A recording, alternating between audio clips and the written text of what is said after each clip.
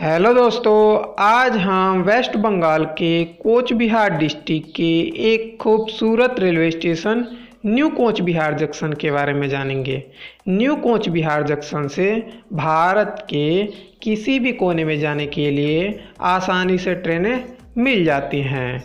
यह जंक्शन कोच बिहार के लोगों के लिए बहुत ही खास है। क्योंकि न्यू कोच बिहार जंक्शन कोच बिहार के लोगों के लिए और उसके आसपास के लोगों के लिए हमेशा अच्छी सर्विस प्रदान करती है। न्यू कोच बिहार जंक्शन को 1966 में बनाया गया था।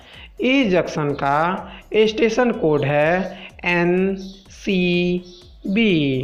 New Cooch Behar junction को north east frontier railway zone operate करती है। जिसका डिवीज़न अलीपुर द्वार है। न्यू कोच बिहार जंक्शन पर टोटल सात प्लेटफॉर्म हैं और आठ ट्रैक्स हैं, यानी आठ पटरियाँ हैं, जिनको 2021 में इलेक्ट्रीफाइड कर दिया गया है।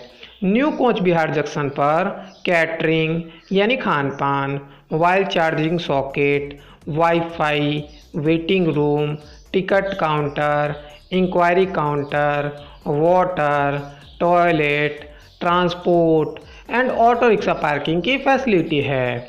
न्यू कोच बिहार जंक्शन से अलग अलग रेलवे लाइन जाती हैं। Barauni Guwahati line, Alipurduar, Bamanhat branch line. इतनी रेलवे लाइन होने की वजह से यह रेलवे स्टेशन बहुत ही व्यस्त है। न्यू कोच बिहार जंक्शन को समुद्र तल से 48 मीटर की ऊंचाई पर बनाया गया है। इस जंक्शन से डेली एक लाख से ज़्यादा यात्री यात्रा करते हैं। न्यू कोच बिहार जंक्शन पर टोटल 112 ट्रेनों का स्टॉपेज है। यानी 112 ट्रेनें यहाँ आती हैं, रुकती हैं और फिर रवाना हो जाती हैं।